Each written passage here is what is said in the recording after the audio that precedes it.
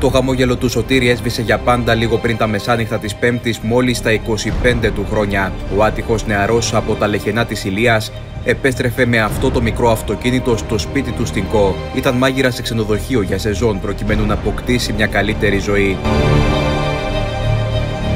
Η μοίρα όμως είχε άλλα σχέδια. Ο Χάρος παραμόνευε και του είχε στήσει καρτέρι στο δρόμο Ψαλίδη Κό λίγο πριν τη Μαρίνα. Το αυτοκίνητο που οδηγούσε από άγνωστη μέχρι στιγμής αιτία εξετράπη της πορείας του και προσέκρουσε σε δέντρο με συνέπεια τον πολύ σοβαρό τραυματισμό του. Άμεσα στο σημείο έφτασε ασθενοφόρο του ΕΚΑΒ και τον μετέφερε στο νοσοκομείο. Εκεί οι γιατροί απλά διαπίστωσαν τον θάνατό του.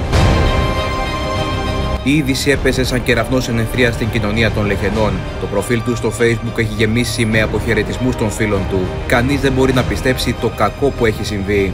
Καλό μου αγόρι, σε χάσαμε. Λυπάμαι τόσο πολύ. Δεν κατάφερα να σε δω φέτος. Λυπάμαι.